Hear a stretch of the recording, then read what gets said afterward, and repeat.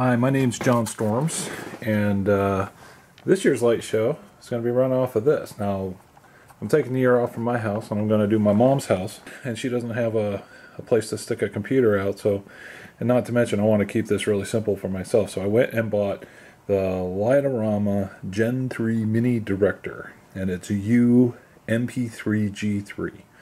So, it's this little guy, and he has bunch of little, so this is uh, an SD card slot, and then this is a little indicator light. This is the audio jack. So this audio jack would either go to speakers or you would run that to a FM transmitter so you can play the show. And then on the back side, there's a 12 volt input. And if you actually want this, then there's the RJ45 jack, and that is for a Light-O-Rama RJ45 network and uh, it will pull its power off of that. So the pin 3 for Light-O-Rama is 10 volt hot, so that's where it pulls. And then one those uh, jumpers, 1 through 6, those terminals, those are used for um, input triggers. Okay, so you can run uh, the whole little show off of this. So uh, what I want to do first is I want to update its uh, firmware uh, you can hook this up so it's connected to the hardware utility. In order to do that, you have to first make sure that the SD card is not in the slot.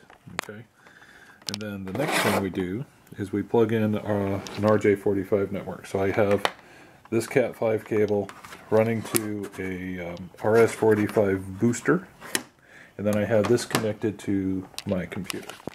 Okay. Him, we plug him in, and you see, and he's pulling his power right from the Cat 5. Now, if we wanted to use the 12 volt AC, the book says we got to pop this open, switch out a jumper, and hook up the AC. But uh, we'll we'll see if that's actually the case. So right now it's coming up solid red light. Why?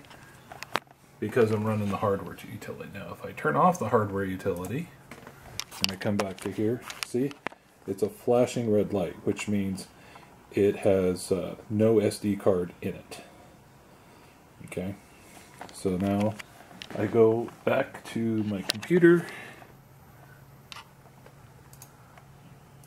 and I start up the hardware utility and I do absolutely nothing. And you see? And the light has stopped flashing. It's red. Okay. Now, working on this guy when the hardware utility is in the blind, his, he doesn't show up in the list. Ugh, stuff's falling off. He doesn't show up on the list. So if you hit this little, if you hit that refresh button where you normally pull up all your controllers, you won't see them. And if you have controllers hooked up to him, you won't see those either. So uh, he is his own little thing. Okay, so we're gonna we're gonna update his firmware. All right, so I got the hardware utility up. Now I need to go download the firmware. I've never done this before for the mini director, so this is a brand new toy for me. So I'm actually kind of excited. I go to the Light-O-Rama website, lightorama.com. We go to support, support, download. Nope, this is the wrong place. Support firmware. Okay, now let's see. I'm looking at my little device here. It's the Gen 3 Mini Director. So I scroll down.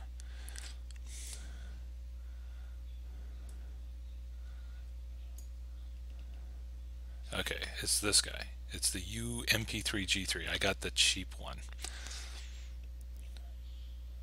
So I'm downloading the firmware. Okay, so I assume that's in my downloads directory, so I need to remember the name of that file. I'm looking at my little mini director. It's hooked up to my little um, RS-45 adapter, and the light is red. So now I go back to the hardware utility. I go to firmware, and let's see, select the device. So you always want to be careful upgrading firmware. Okay, so I want to control I want to select the MP3 player. If you have original version of firmware in the MP3, Then to download, you must take the following. Select the firmware file, click download, OK. Press re reset button on the MP3 director card. Reset button? I don't think there is a reset button. They must be talking about a different, different, different device. Okay. All right, click OK. So now I'm going to select the firmware file. This is the one I just downloaded. So it's not going to be in my firmware directory, it's going to be in my downloads directory. Right there it is. This LHX is the, uh, the extension for the Light-O-Rama guys.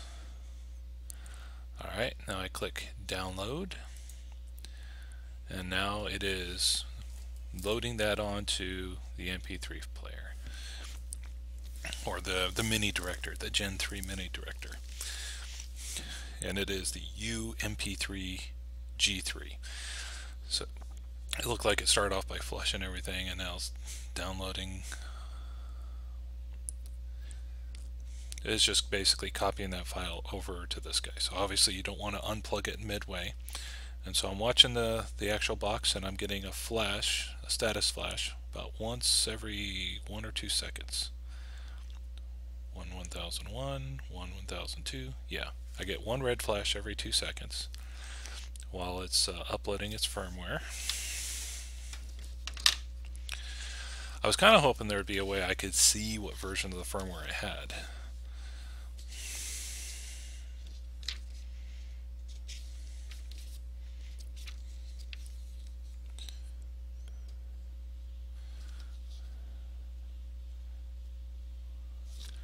Alright, still going.